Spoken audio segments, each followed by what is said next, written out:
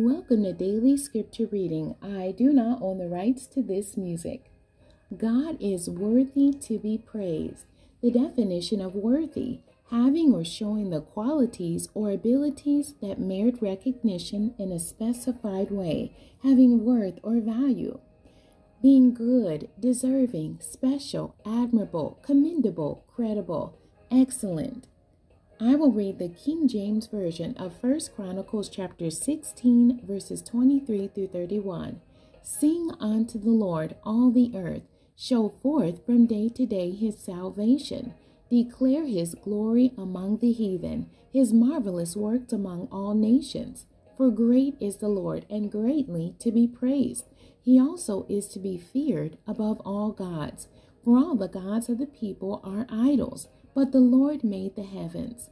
Glory and honor are in his presence, strength and gladness are in his place.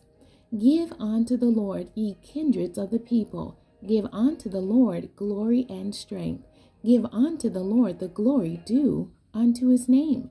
Bring an offering and come before him. Worship the Lord in the beauty of holiness.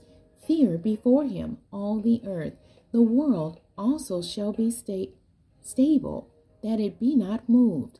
Let the heavens be glad, and let the earth rejoice, and let men say among the nations, The Lord reigneth. The end. God bless you, and thank you for joining me today.